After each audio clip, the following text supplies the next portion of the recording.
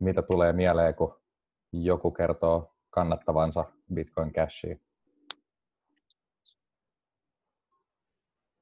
Niin se on, se on vähän, ei, ei pitäisi ikinä ad hominem argumentoida, että pitäisi aina muistaa, että rikkinäinen kellokin on oikeasti kahdesti joka päivä. Mutta kyllä mulla silti, jos joku sanoo, että on niinku Bcash kannattaja, ihan niinku fani tai näin, niin suhtaudun noin 100 prosenttia skeptisemmin kaikkea, mitä se sen jälkeen sanoo, koska tietämättömyys on semmoinen, se voi korjata tiedolla. Ja sitten kyllä mä niinku ymmärrän senkin, että niinku anarkistit ja liber, libertaarit aika usein on tottunut betsaa sitä underdogia, niin siinä on vähän ehkä sellaistakin, e-, etenkin tuota tyyppiä keskuudessa, jotka ei niin paljon tee due diligencea ja, ja tota, perehdy aiheisiin. Niin. Mm. Joo, siis just tuohon mä itsekin törmäsin tuossa noin, kun vähän tein about viikon verran tutkimusta tuosta Bitcoin Cashista ja mihin ne uskojat oikeasti sit niinku pohjaa näitä ajatuksia ja mikä niillä on niinku ajatuksena tai tavoitteena. Ja just siis tuon mä niin totesin, että se tuntuu olevan justiinsa tämän niin foliohattu-porukan, jotka on just rahaa ja pankkijärjestelmää ja kaikkea muuta niin vastaan. Ja niitä, niistä vielä niin se oikein kunnon ultimate foliohattu-porukka on ne, jotka niin olettaa, että nyt Bitcoinin omistaa jo pankki. Tai että se on jo, niin kuin, pankkirit on sen verran kovia pahoja jätkiä, että ne on jo ostanut Bitcoinin. Että Bitcoin Cash olisi sitten niin kuin, hyvä vaihtoehto jotenkin. Joo, se on, se on totta. Sieltä tulee tämä niin keskuspankkiväite, että Blockstream on keskuspankki ja niin muuta ihan täysin älytöntä hölyn, hölynpölyä. Joo, joo. Blockstreamhän on vain niin firma, joka kehittää Bitcoin-protokollalle, että se niin kuin, tarkoita yhtään mitään. Joo, ja siis toi oli just kanssa ihan mielenkiintoinen juttu, että ää, tosiaan sanotaan, että nämä niin kuin pankit on hirveän pahoja ja että Blockstream olisi jotenkin jo niin kuin yhteistyössä pankkien kanssa, mutta silti siihen ei tunnu olevan minkäänlaisia niin kuin todisteita, mitään muuta juttua oikeastaan pohjalla kuin se, että Blockstream on palkannut jonkun entisen niin vakoja jätkän niiden niin koodausrivistöön. Ja mitään muuta kummempaa siitä mä en niin kuin löytänyt, että en tiedä perustuuko toiset siihen, että joku Samson Mau on käynyt ja kätellyt kerran joskus jotain pankkiiria tai niin kuin jotain ja sitten siitä sit tulkitaan näin. Ja mun mielestä se oli omituista, että sitten kun mä otin puheeksi tämän yhden Biikäs-kannattajan kanssa, jonka mä keskustelin tuosta asiasta sen, että ää, miten Sirkle, mikä nyt osti Polonieksin, niin se toimii niin kuin yhdessä Bitmainin kanssa. Ja, tai siis itse asiassa silleen, että Sirkle on niin kuin Goldman Sachin niin kuin tukema yritys, ja ne tekee Bitmainin kanssa jotain yhteistyötä just tämmöisten niin kuin pankkijärjestelmien kanssa. Ja siinä ei kumminkaan sit ollut minkäänlaista niin kuin ongelmaa, että Jihan Wu, joka justiinsa omistaa tai on tämä Bitmainin pomo, että se on näin läheisissä yhteistyössä niin kuin tuollaisten yritysten kanssa. Mun mielestä se oli just jotenkin häkellyttävää tässä pitää tietää savior-kompleksi, että se, jos, jos on niin kuin oikeassa, niin kyllähän silloin voi tehdä mitä vaan. Silloinhan centraloinnista ei ole haittaa, jos on niin oikealla asialla. Se on vain jostain aina muuta sillä väärällä asialla. Niin. Ja just tosti tuli kans just silleen mieleen, että se oli myös mielenkiintoista just toi centralointihomma, että nämä Bitcoin Cashin tyypit tuntuu niin kuin olevan siitä mieltä, että tämä niin Bitcoinin nykyinen koodaussysteemi ja niin kuin kehityssysteemi ja itsessään kaikki just mainaaminen, että se olisi hirveän sentraloituu. Vaikka just käsittääkseni niin kuin 50 prosenttia about kaikesta Bitcoin Cashin mainaustehosta niin kuuluu Alibaban omistamalle jollekin tämmöiselle mainausporukalle tai Alibaban ylläpitämälle. Niin, sekin on vähän kyseenalainen mun mielestä, että onko se loppujen lopuksi se sentralointi niin iso asia, esimerkiksi just mainaussentralointi, että kun ne kuitenkaan ei kaikki nodet ei missään tapauksessa milloinkaan voi olla yhden tahon alla. Et tietysti tämmöisiä juttuja on ollut, että niin kuin ASIC-valmistaja, jos joku paha tahtoinen taho saisi haltuun ja Stelttinä ottaisi haltuun niitä ASIC-valmistajia ja sitten aktivoisi niissä jonkun niin kuin oman sleeper mutta rupeaa foliohattu mun mielestä kiristyy ehkä turhan paljon mm. siinä hommassa. Et taas muistaa miettiä niitä insentiivejä, että kuinka niin kuin, äh, miten tuosta systeemistä parhaiten pääsisi hyötyä, niin kyllä se taitaa edelleenkin olla, että Bitcoin-verkkoa kannattaa tukea ennemmin kuin hyökätä sitä vastaan. Joo. Et sitä voisi miettiä, että onko tällainen niin kuin salaliitto käynnissä. Et tietysti keskuspankit ja jotkut valtiot, niin ne voi olla sellaisia tahoja, joilla olisi tällainen toisenlainen agenda kuin ihan puhtaasti taloudellinen agenda. Hmm. Jep. Ja siis just tuosta centraloinnista tuli vielä just sekin mieleen, että nyt kun tosiaan Bitcoin Cash oli nostanut niin kuin tämän oman lohkokokonsa 32 megaa mm, siinä sen sijaan, kun Bitcoinilla nyt tällä hetkellä on se Segwitin about se 2 megaa. Ja se oli myös just tosi mielenkiintoista, että kun rupesin laskeskelemaan, että jos nämä kaikki 32 megaa, mitä Bitcoin Cashilla on käytössä, jos ne olisi oikeasti täynnä ja vuoden ajan sitä jatkuisi, niin se tarkoittaisi, että dataa tulisi oikeasti niin kuin siitä lohkoketjusta niin 1,7 teraa suunnilleen. Ja se kuulostaa mun mielestä aika rankalta, että niin kuin vuosittain pitäisi full noden ajajien käydä sitten hommaamassa itselleen sen verran lisää tallennustilaa. Mutta se ei sitten kuulemma olekaan millään tavalla ongelma, koska sitten vaan käytetään näitä kolmannen osapuolen tarjoamia data storage-palveluita ja tollaisia.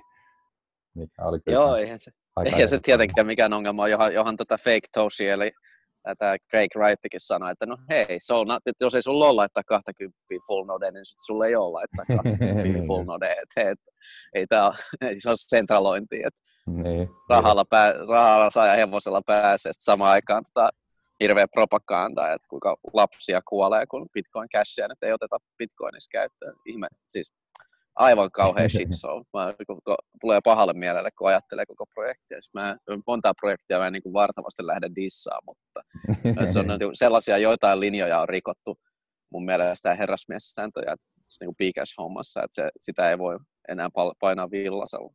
Joo, siis just, mullakin just tosiaan kävi sen takia silleen vähän kiinnostaa, että itsekin on kumminkin silleen foliohattu ja niin kuin, kiinnostaa kaikki salaliittoteoriat, mutta tohon mä en nyt jotenkin kyllä löytänyt just mitään päteviä niin kuin, todisteita tai pohjaa tuohon, niin kuin, että miten Blockstream olisi paha, ja just nimenomaan, niin kuin, että ne ei kontrolloi millään tavalla niin kuin, Bitcoin Coren kehitysporukkaa tai mitään muutakaan, että jos siellä sattuisi olemaan suurin osa kehittäjistä, niin Blockstreamin palkkalistoille, niin sitten voitaisiin ehkä vähän ruveta miettiä, että mitähän tässä on meneillään, mutta niillä ei ole kumminkaan päätäntävaltaa mihinkään.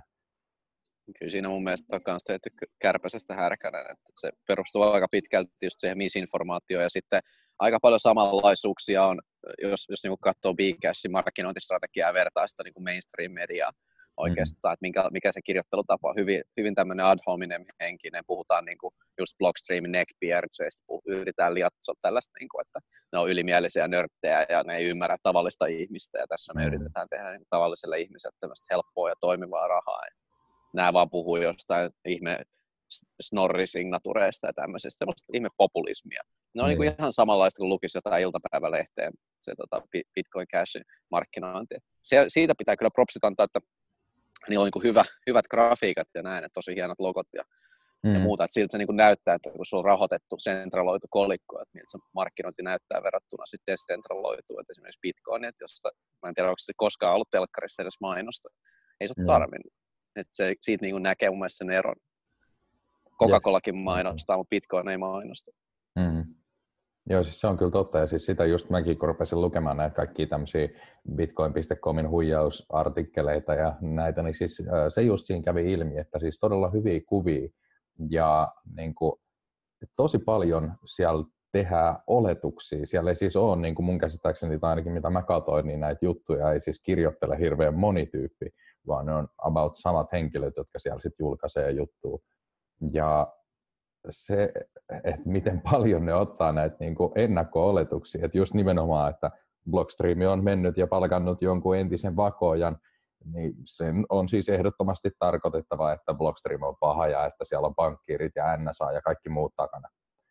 Niin kuin se, mutta siis se tosiaan se oli just myös mielenkiintoista, että mihinkään ei tavallaan perehdytä kunnolla, että se on semmoista todella pitkää ja paljon niin kuin tekstiä, mikä on vaan lässyn, lässyn, lässyn ja sitten vedetään älyttömiä johtopäätöksiä ja niin kuin tavallaan toistellaan ja vahvistetaan niitä. Et se on ihan niin kuin taitavasti tehty tuommoista huijausta kyllä. Et on se ihan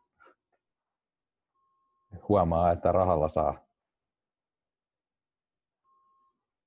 Joo, näin, näin se on. Ja sitten vielä, vielä se, mikä siinä aika paljon harmittaa, on se, että niin kuin viedään uusia skeneläisiä ja vasta-alkajia harhaan tarkoituksella ja yritetään niin. aiheuttaa bränd, niin kuin brändihämmennystä, että ihmiset niin kuin oikeasti menettää rahoja, niin on aika niin kuin pas, paskana uusi kokemus, jos oot just tullut skenneen ja sitten lataat bitcoin.comin lompako ja siellä onkin Bcash on ensimmäisenä. Sitten sun mm. ensimmäiset bitcoinit, mitkä sä oot ostanut, niin lähetät siihen väärään osoitteeseen, niin tuntuuhan sen aika ikävältä kyllä. Ja enkä mä oikein mitenkään näe, että se on niin kuin Bcashille voisi olla hyvä pitkässä juoksussa. En mä tiedä, tekeekö ne sitä enää. Taisi tais varmaan ehkä muuttaa sen oletuslompakon pois Bitcoin Cashista, mutta kaikenlaista sitä on. Ja vähän mm. väliä joku kirjoittaa artikkelin siitä, kuinka Bitcoin Cash onkin itse asiassa Bitcoin.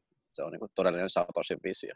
Ja sekin on sellainen asia, että mitä, siis kaikki kunnia Satosille ja se, sille niin kuin hienolle white paperille, mikä on kirjoittanut, mutta eihän se nyt hyvän aika voi loputtomasti vaan olla kiveen kirjoitettu ja pysyä sellaisena, että sitä ei yhtään paranneta, siihen ei mitään lisätä, vaan se pitää olla puhdas ja aito Satosi on siis mitä. Joo, siis just toi tuli myös todella paljon siinä niin esille, kun keskustelin noiden kanssa, että siis jotenkin hyvin monella ainakin tuntuu olevan niin noiden tuossa kannattajilla niin päässä vähän jotenkin se, että, että se Satoshin alkuperäinen white paper, niin se olisi se niin kuin täydellinen versio siitä niin kuin Bitcoinista, että sitä ei pitäisi millään tavalla muuttaa, ja että Bcash edustaisi sitä. Mutta siinä on just hämystä se, että, että kumminkin Satosin niin kuin kirjoittaman koodin jälkeen niin ollaan tehty jo kumminkin kaikenlaisia niin kuin bugifiksejä ja parannuksia ja tollaisia, joten se ei ole se, siltikään se Bcashinkään versio, niin ei ole se alkuperä, alkuperäinen ja sama. Esimerkiksi just blokkikokoakin on pelkästään jo muutettu, ja nyt ollaan kokonaan muutettu tätä koodipohjaakin, minkä takia just tuli ilmi tämä tässä muutama päivä sitten, miten tämä Bitcoin Coren devaaja meni ja kävi huvikseen kattelemassa, että mitä Bcashin koodaajat tekee, kaikki ne ruhtinaalliset kaksi, joista toinen itse asiassa potkittiin jo pois nyt mutta ne oli saanut sen, sellaisen koodin aikaa, missä oli todella iso ja vakava bugi, mikä olisi johtanut siihen, että jos se oltaisiin julkaistu, niin Bitcoin Cashin ketju olisi forkaantunut niin kuin todennäköisesti hyvin moneen kertaan. Ja se olisi aiheuttanut sitten jo mahdollisesti paljon suurta hämminkiä, mutta tämä Core päätti olla mukava ja ilmoittaa siitä asiasta heille suoraan. Joo, se oli kyllä mielenkiintoinen tarina ja niin hyvä osoitus siitä, että miten herrasmiessääntöjä noudatetaan. Mallikelpoisesti hoidettu sillä tavalla. En muista enää, kuka se Koredevaaja oli, joka tämän teki, mutta Joo, tietysti sitten vielä toisen asian julkisuuteen. Että ei ne varmaan, varmaan olisi sitä, nämä biggest devaajat niin itse julkistanut edes välttämättä. Joo, ja siis just tuosta Bcasin devaajista kanssa tuli mieleen, että se oli myös mielenkiintoinen tieto, että siis kun katselin kanssa vähän GitHubin repositoria ja kaikkia näitä, niin siis Bcashilla on mun käsittääkseni just tosiaan kaksi niin kuin pääasiallista devaajaa, ja toinen niistä on nyt jo niin kuin päätynyt vähän erimielisyyksiin toisen kanssa tai muun niin kuin Bcashin kannattajaporukan kanssa, ja nyt se toinen näistä päädevaajista, niin tämä sai niin kuin kenkää sieltä niiden tota, Slackista ja muista tuommoisista, että on kyllä ihan mielenkiintoinen systeemi, että nyt sinne jäi siis yksi kaveri ylläpitämään tätä hyvin bugista softaa. Siis mun mielestä ne oli myös ihan mielenkiintoisia nämä, että kun nyt ne on markkinoinut täällä niin nolla konfirmaatiotransaktion. Ei saatana, siis sekin on kyllä niin, voi... siis... kyllä. Niin kuin, että pitäisi olla just semmoinen järjestelmä, missä ei luoteta pankkeihin ja P2P-systeemiä ja kaikkea, mutta nimenomaan silti nolla konfirmaatiotransaktiot onkin yhtäkkiä ok kun ei ole niin, mitään, niin kuin millään mahdollista edes, että se data siitä transaktiosta olisi ehtinyt niin kuin kaikkiin mahdollisiin nodeihin ja niin kuin, tavallaan niin kuin aktivoitumaan se tieto joka paikkaa. Ja sitten ja muist- validoinut minerit eikä mitkään, ja silti siihen pitäisi sitten luottaa. Muistetaan vielä se, että niin Bitcoinin ainoa historiallinen double spendi on tehty Zero ää, tota, Confil silloin, kun joku vedonlyöntisaitti vissiin otti mm. hetken aikaa, joskus 2013 vai milloinhan se oli. Vai varmaan aikaisemminkin, en muista. Mutta se on muistaakseni ainoa kerta, kun on double spend tehty, hyökkäys tehty onnistuneesti. Mm. Okay. Ja se on vain Zero Confin takia, koska mm. se jättää sulle se, että mitä, mitä enemmän sulla on confirmation, että ne muuttuu eksponentiaalisesti vaikeammaksi tehdä double spendia. Ja mm. tällä hetkellä se on vissiin kuusi äh, niin kuin, ähm, konfirmaatio on käytännössä mahdoton tie, nykytietokoneella. tehdä double spendia. Mm. Näin mä oon ymmärtänyt. Joo. Mutta sitten sit niinku Bcash, Zero Conf, niinku vuonna 2018. Come on, siis mit? Ei. Joo, ja sitten just tämä, että näin. mar- markkinoi niinku just tämmöisellä, tiedätkö, vanhalla kunnon puhelimella, missä ei ole niinku edes mitään älypuhelimen sovelluksia tai mitään muitakaan. Joku vanha kunnon Nokian 330 näyttää siinä, että joo, että miten siinä on B-Cash lukee ja että tällä pystyy kuulemma niin kuin vastaanottamaan ja lähettämään Bitcoin äh, cash-transaktioita ja silleen, että millään muulla siinä taustateknologialla ei ole mitään väliä. On kyllä. Niin ja mun käsittääkseni tuo tekstiviestilähetys on ollut Bitcoinissa pidemmän aikaa jo. Joo. Bcashin, Jep, joo, Bitcoin, Bcashin niin keksintö, että sekin ne vähän niin kuin ottanut omakseen, että joo, nyt Bcashilla voi lähettää niin kuin tämmöisellä katastrofialueellakin just niin tekstiviestillä. mm, Bro, come on. Joo, muistaakseni se oli Jotain 2013 klassia. vai 2015, Niin. kun Bitcoinin Mutta siis, mut siis nämäkin on semmoisia asioita, että ei näitä jengiä rupea tarkistaa. Jengi se, että oh, vauchi. Että nyt tämähän on niinku oikeasti semmoinen tosi käytännöllinen raha ja näin. Ja sitten Niin. samaan aikaan ei ole tarkistettu, että hei, nämä ominaisuudet on by the way ollut tässä koodissa niin kuin viimeiset, ää, mitä, viisi vuotta. Mm. Jep, se on kyllä totta, joo. No ylipäätään kyllä joo, siis Greg Wright on kyllä myös semmoinen kaveri, että mun mielestä tulisi, että se jo itsessään häältäisi niin kuin, tiedätkö, kaikki pois koko BCAS niin kuin, kannattajistosta. Siis se on niinku i- insta-kredibiliteetti menee saman tien, se ka- kaverin kun avaa suunsa tai saapuu paikalle. Se on niinku, mä en niinku ymmärrä, kuinka joku suostuu tekemään sen kanssa töitä vielä skenessä. Ihan käsittämätöntä. Joo, siis ja just se, että, että miten niin kuin, ei ole millään väliä tavallaan, niin kuin, että tuntuu ihan vaan just siltä, että kunhan heittelet vaan mahdollisimman paljon teknis, teknistä sanastoa ja niin kuin, ei sun tarvitse selittää yhtään mitään järkevää tai loogista tai johdonmukaista, että kunhan vaan hienoja sanoi sinne tänne, kaikki hoituu, kyllä se siitä. Niin, ja sit vittuilet kaikille ja haukut ihmisiä. Niin, nimenomaan, Ihmiset pelkää sua sit. Niin, Niin, kyseenalaistat jotain. Niin, niin sitten sen jälkeen oot, sulle, sulle ei vaan visioa, että, joo, että, että sä et vaan ymmärrä. Niin, näitä twi-. Twitteri, Twitteri bänni ja Niin. sit hauku, haukutaan päälle ja sitten tulee sen niinku just se rakkikoira lauma siihen ympärille, niin kuin haistelee toisessa kusia, niin se niinku, ei. Joo, Mutta siis se, niin kuin sanottu, se skene tuho ikävä kyllä it- itse, itse itsensä, että yrittää vaan pelastaa mahdollisimman monta sielua sieltä. miten sanotaan koko ajan sitä, että miten Bitcoin-porukka on niin kuin sensuroi niin paljon kaikkea tekstiä ja käyttäjiä esimerkiksi vaikka Redditissä tai missä tahansa. Et sen takia Bitcoin ja Core-tiimi ja kaikki muut on niin kuin pahoja.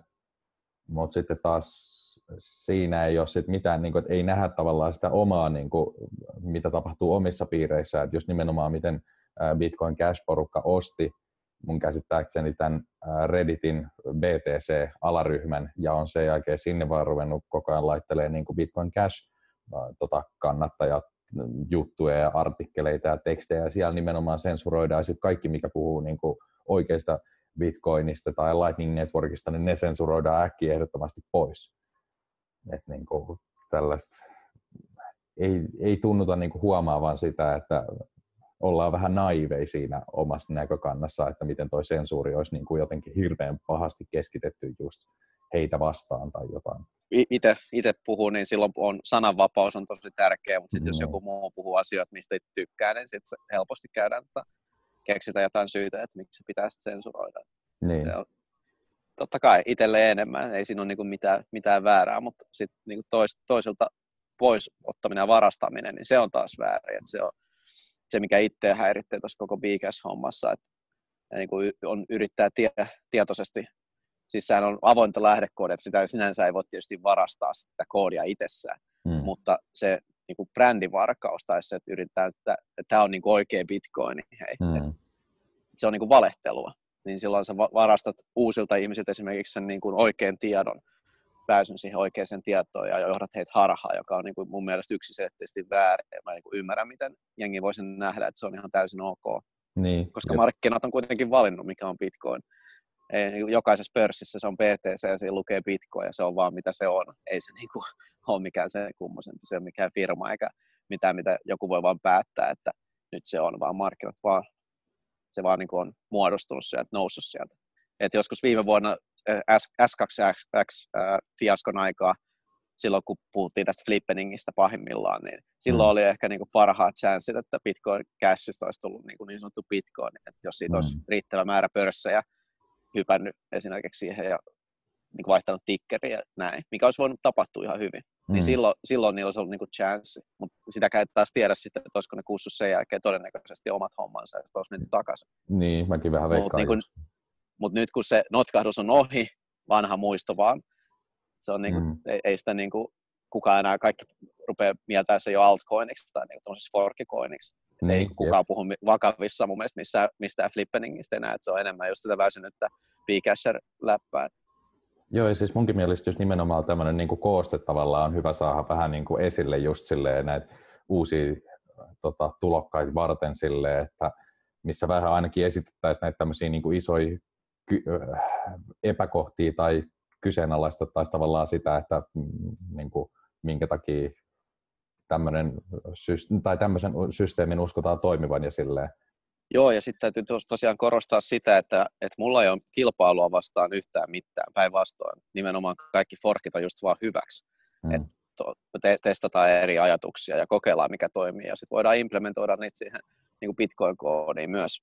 Mutta mut se justiinsa, että ää, yritetään varastaa toisten työ. Että jos Bcassikin olisi vaan ruvennut, vaikka olisi kutsunut itseään Bitcoin Cashiksi, mutta niin kuin Bitcoin Gold esimerkiksi, tai mm. ää, mitä näitä on Bitcoin Diamond ja, ja, ja muut, niin ei niin kuin yritä olla, että hei me ollaan Bitcoin, että me ollaan vaan niin kuin, käytetään vaan sulut tätä Bitcoinin brändiä, koska se on open source, what the hell, ja mitä siitä voi sitä käyttää.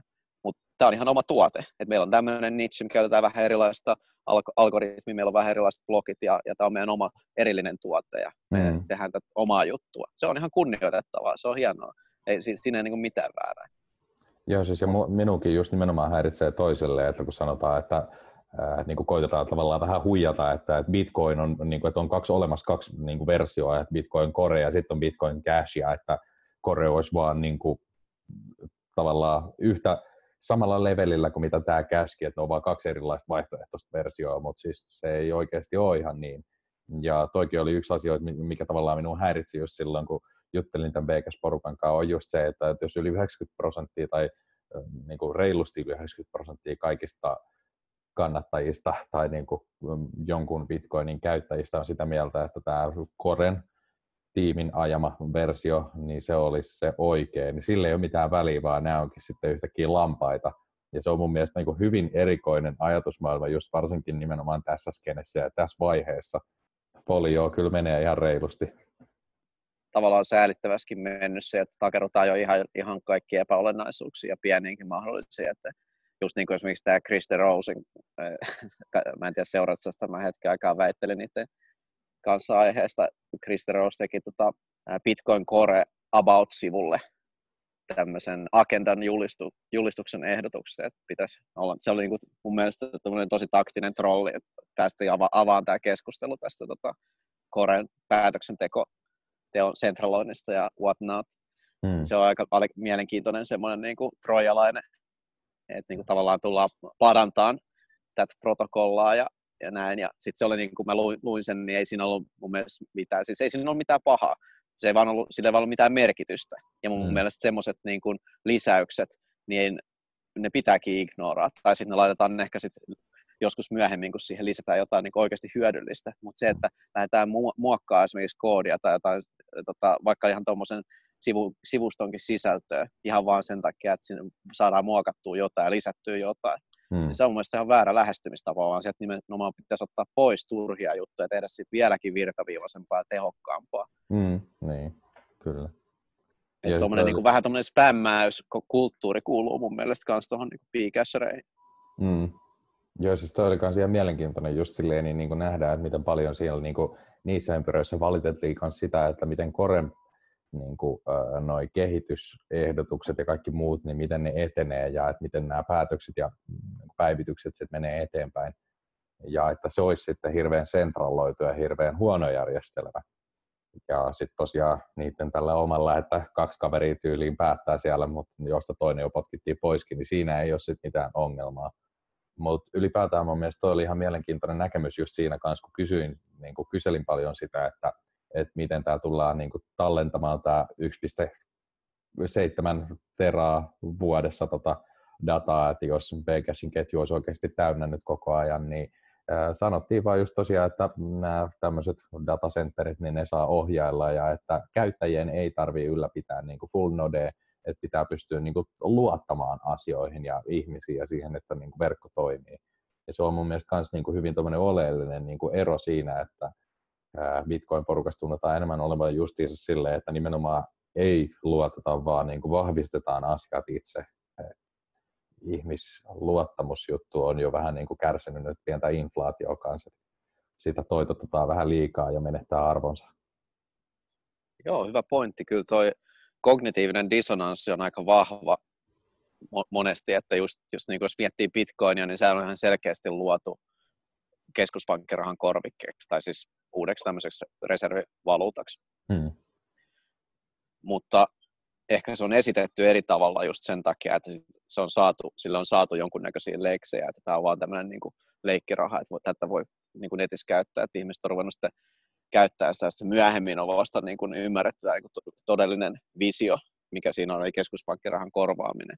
Ja mun mm. mielestä ähm, agendaan tämä pitäisi kuulua myöskin, koska puhutaan ihmisten omasta itsemääräämisoikeudesta, anarkiasta ja, ja tota libertarismista ja voluntarismista. Esimerkiksi Roger Ver on suuri voluntaristi ainakin omien sanojensa mukaan. Mm.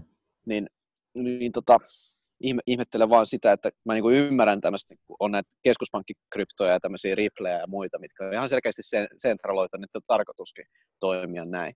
Mm. Mä ymmärrän, että heillä on se oma argumenttinsa, mä en ole siitä samaa mieltä, että niitä tarvitaan, mutta ne on jonkunnäköinen välimalli. Mutta sitten Bcashereilla on kuitenkin periaatteessa sama tuote pienillä e-, eroilla mm. bitcoini, joka pitäisi olla korvike ja niin keskuspankkien tappaja. Niin sitten vähän niin kuin mie, ihmetyttää, että miten tämmöinen sitten on ok, että pitää ollakin luo, yhtäkkiä luotettava järjestelmä. Et siinä on aika iso mun mielestä kognitiivinen dissonanssi, että yhtäkkiä tarvitaankin joku isoveli, joka huolehtii sitten tästä meidän ledgeristä. Mit, siis mitä? Tähän tuohon koko Bitcoinin ajatukseen. Joo, siis nimenomaan, niin kuin, että itsekin ihmettelin sitä, että tai oikeastaan se siinä häiritseekin, että kun mun mielestä toi kuulostaa se niiden niin kuin ajatus ja ideologia tavallaan semmoiselta, että halutaan tehdä niin kuin kryptoilla toimiva PayPal 2.0, mikä on mun mielestä siis joo, että ei siinä mitään, niin kuin, että nimenomaan että tehkää ihmeessä. Että se, mikä siinä häiritsee, on oikeastaan just se, että, että miten sitä mainostetaan sille, että tämä tulee vapauttamaan tai auttamaan esimerkiksi vaikka köyhien maiden inflaatiotilannetta ja että tämä olisi Venezuelalle todella kova juttu tai niin kuin ihan mitä vaan, että siis markkinoidaan semmoisena vähän niin kuin anarkistisempana ja nimenomaan niin kuin tavallaan valuuttana, vaikka se tuntuu oikeasti olevan justiinsa pääasiassa ihan vaan niin kuin maksuväline tai maksuprotokolla maksimissaan.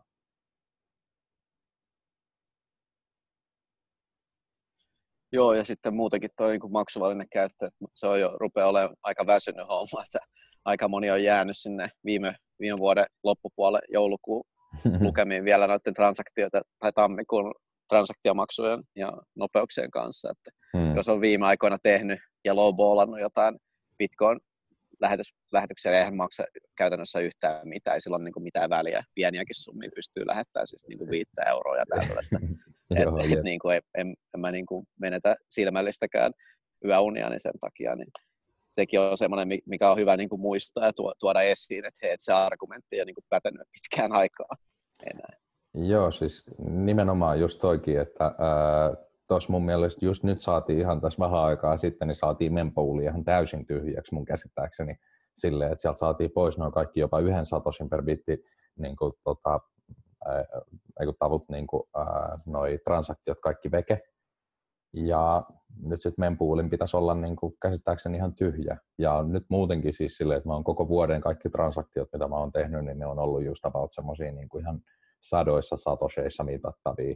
Että tämä, mitä ne just siellä Vegas-porukassa tuntuu myös paljon mainostavan, että joo, että, mut kuin 20 dollarin feed tai 50 dollarin tai ihan mitä vaan, niin siis silleen, että kyllä joo, nytkin se sama tilanne olisi niin kuin paljon epätodennäköisempää, että niin kävisi enää uudestaan nyt, kun on nämä kaikki segwit-päivitykset ja niin kuin ollaan jo optimoitu asioita, on enemmän sitä niin kuin transaktioiden batchingia, sitä niputtamista ja tämmöistä, niin se on ihan mielenkiintoisia nuo argumentit.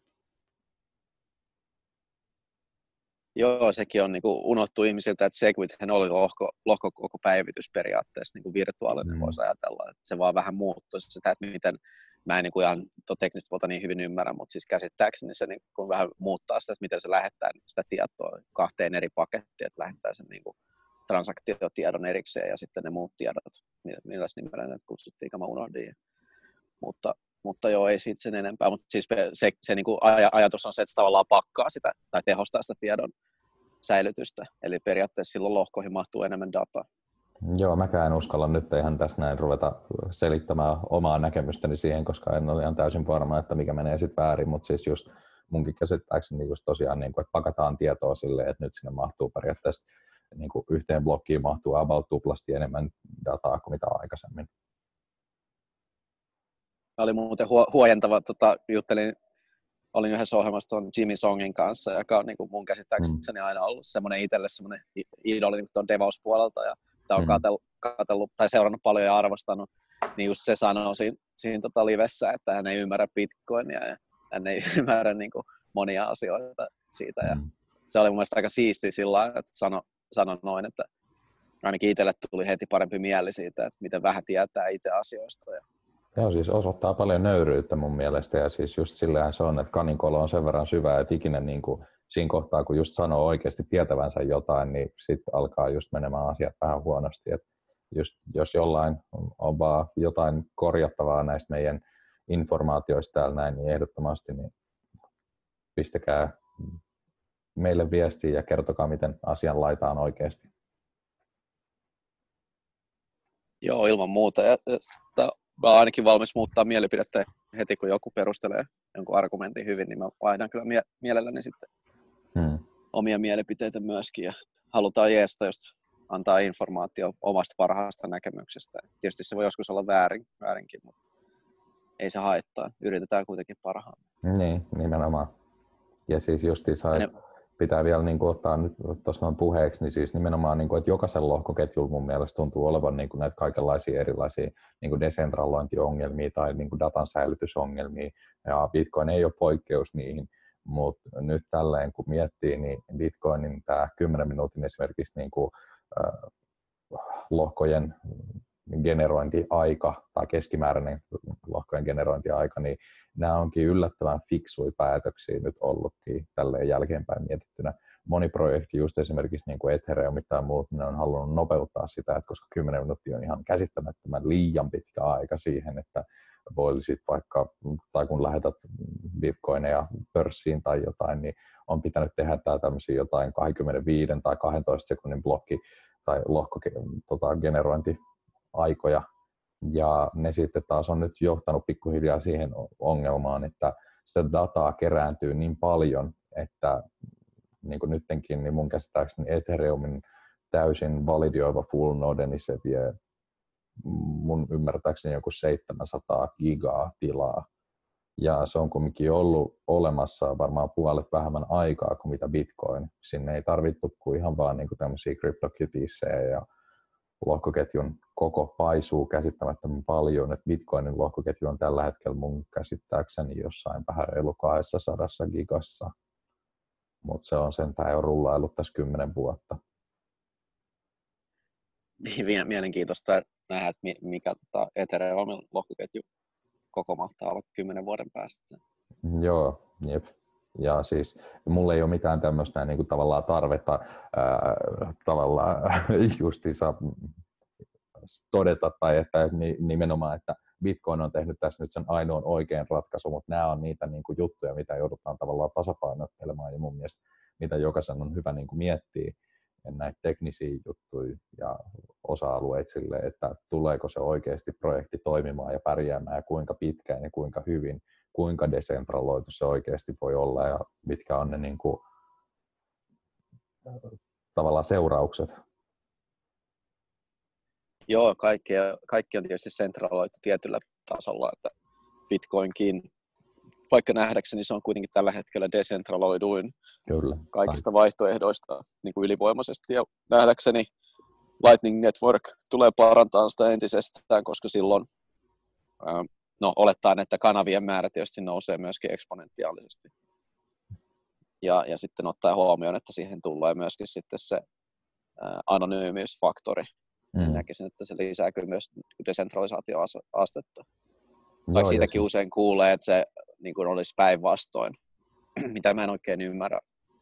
Ymmärrätkö sitä argumenttia, että mitä varten Lightning Network sentraloi?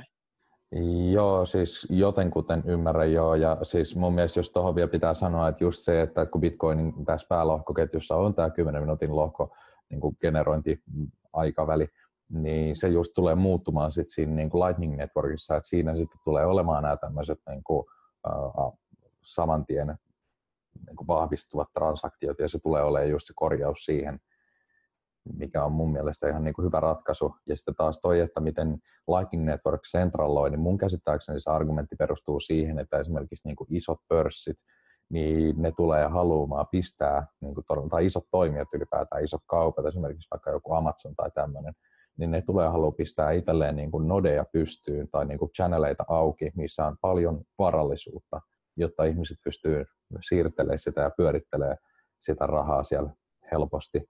Ja se sitten taas tulisi jotenkin johtamaan mahdollisesti siihen, että kaikki transaktiot kulkis aina näiden isoin, isoimpien channelien kautta, koska niissä on isoin määrä sitä varallisuutta, joten kaikki asiat toimii ja liikkuu nopeammin.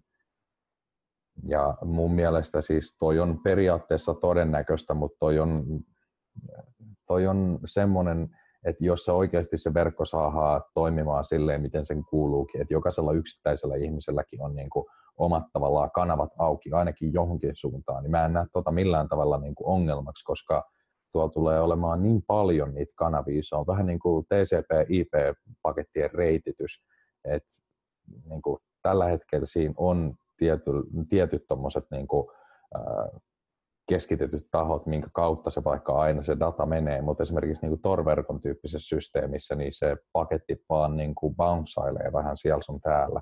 Siellä ei ole mitään niin kuin tiettyjä isoja keskitettyjä niin kuin hubeja tai tämmöisiä, jos on käsittänyt oikein. Joo, nyt mä ymmärrän vähän paremmin tuota argumenttia. Se on ihan hyvä pointti kyllä, että varmaan isot toimijat tulee avaa niitä omia kanavia, missä on paljon balanssia, mikä tarkoittaa, että ne pystyy ottaa paljon kuormaa ja varmaan ne tuleekin menee, sanotaan vaikka niin kuin 95 prosenttisesti kaikki käyttöliikenne tulee menee joidenkin just Starbucksia ja, ja Amazonia ja näitä välillä, mitä nyt sitten onkaan, onkaan tota. mutta se mun mielestä, mikä sen pelastaa, on, että sulla on kuitenkin mahdollisuus käyttää omia kanavia tai mitä tahansa kanavia, mm. niin mun mielestä se riittää. Että, että kyllähän sentralointi voi olla jossain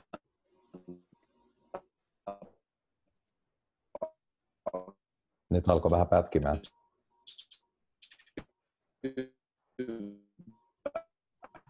No, Esimerkiksi just data, jossa on palvelu. Halo, kuuletko? No niin, joo, nyt kuuluu joo. taas. Niin, niin, tota, niin kuin esimerkiksi just datan säilyttämiseen ja pilvipalveluihin, niin sentraloitu optio on aina parempi ja tehokkaampi. Niin. Mm miksi sä niin kun ottaisit risk, riski just kaikkeen tota datakorruptioon ja, ja sitten maksasit sit hirveitä määriä ja se olisi paljon hitaampi käyttää, jos mm. ei sun ole pakko olla, jos et sä tarvitse sensuurivastausta. Ja tästä tullaan taas siihen just se, että milloin sä tarvitset sensuurivastaisuutta, ja niin silloin sulla ei voi olla hirveän sentraloitu systeemi, että mm. joku pystyisi estämään sinua esimerkiksi tekevästä transaktio. Ja mm. sehän ei ole mun mielestä Lightning Networkilla mahdollista, vaikka siellä olisi iso, isoilla toimijoilla suuri osa kanavista, koska siellä on niitä pieniä toimijoita edelleen. Samalla tavalla kuin jos iso, vaikka iso osa mainaista on, on niin kuin isoja serverifarmeja, niin siellä on kuitenkin sitten erikseen on vielä full nodet, jotka myöskin pyörittää verkkoa. Joo, siis just kun munkin mielestä toi, se argumentti siitä, että se just nimenomaan centraloissa Lightning Networkin systeemi, niin se on vähän omituinen sinänsä, että kun mun mielestä – jos se tavallaan sitten jossain välissä toimisi just niin kuin mitä ainakin on itse ajatellut, niin se pystyt tavallaan niin päättämään, että jos sä haluat vaikka kiertää jonkun tietyn hubin tai jos joku tietty ää, tota, kanava on semmoinen, mitä sä haluat niin välttää, niin kyllä se mun mielestä luulisi ainakin, että se olisi ihan hyvinkin mahdollista. Ja kyllä siis mun käsittääkseni silleen, että jos nimenomaan nämä isot toimijat, niin niiden kautta menevän liikenteen, niin ne periaatteessa pystyisi vissiin sensuroimaan – jos ne pystyisi tietämään, että ketkä on minkäkin niin kuin, transaktion lähettänyt ja silleen. mä en ole siitä ihan täysin kyllä varma. Mutta muutenkin, niin siis toi mun mielestä se ajatus on mun mielestä vähän omituinen, koska siis on tämä tämmöinen niinku teoria, tää, onko se nyt, mä en muista ihan tarkalleen, että onko se ehkä kahdeksan kättelyn teoria tai joku muu, että kaikki maailman ihmiset tuntee toisensa noin niin kuin kahdeksan ihmisen päähän tavallaan. Et esimerkiksi mä tunnen täältä näin niin kuin Donald Trumpin silleen, että mä tunnen jonkun tyypin, joka tuntee jonkun tyypin, joka tuntee jonkun tyypin, joka tuntee jonkun tyypin, joka tuntee sit mahdollisesti vaikka esimerkiksi Donald Trumpia. Me kaikki niin kuin oltaisiin tavallaan silleen kytkeytyneitä. Ja. Se on 60, six degrees of separation. Ah, okei, okay. joo. Ihan mielenkiintoinen teoria. Joo, ja tämä on hyvä, hyvä analogia Lightning Networkia, että näinhän se pitäisi just toimia. Sitten kun on niitä, mitä enemmän niitä nodeja on, niin sitä paremmin paremmin se toimii ja network-efekti on vahvempi silloin. Mm, niin. Ja tosiaan, niin mä ymmärrän, vaikka mä ymmärrän nyt vähän paremmin sitä sentralointiväitettä, että mistä se niin tulee, joo tavallaan, mutta sitten lopu, lopulta ei oikeastaan. Sillä ei mm. ole niin kuin mitään väliä. Sillä ei ole merkitystä sen protokollan toimivuuden kannalta, että sulla mm. on sentraloitu to- palvelun toimittajia. Niin, jep. Samalla tavalla kuin prot- protokollan kannalta ei ole merkitystä, että sulla on ää, vaikka kryptopankkipalveluita, joka säilyttää sun priva-avaimia. Hmm. Sulla on silti mahdollisuus säilyttää osa sun bitcoineista tota, oma, omalla tota, paperilompakolla vaikka. Niin, jep, nimenomaan se Tai aivolompakosta ihan miten vaan. Niin, niin, niin. niin. Eli se, että jos sä vapaaehtoisesti käytät sentraloitua palvelua, niin se on ihan fine, ei siinä ole mitään väärää hmm. ja huonoa. Jos sulla on mahdollisuus kuitenkin sitten käyttää niitä hyviä palveluita, semmoisia se, sensuroimattomia palveluita myöskin. Mm.